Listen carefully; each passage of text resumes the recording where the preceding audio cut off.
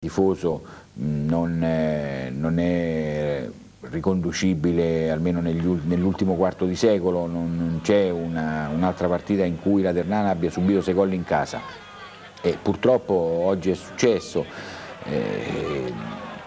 inutile star qui a valutare eh, questi 90 minuti, sono gli ultimi 90 minuti, quindi è la classifica finale che in qualche maniera dà il senso e, il, eh, e la dimensione della prestazione della squadra rossoverde. Ora l'auspicio è che eh, con questa brutta pagina finale eh, si possa chiudere un ciclo che ha dato certo soddisfazioni ma ha dato anche eh, diverse delusioni e soprattutto ha creato rabbia, rabbia perché immaginavamo che le condizioni per poter far bene ci fossero tutte, poi è successo qualcosa, si è rotto come, come si usa dire il giocattolo e non si è riusciti a rimettere assieme i pezzi e il risultato è quello che abbiamo tutti sotto gli occhi.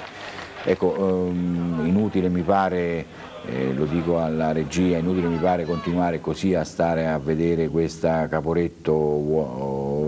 Waterloo, come vogliamo chiamarla, della squadra rossoverde. Ecco,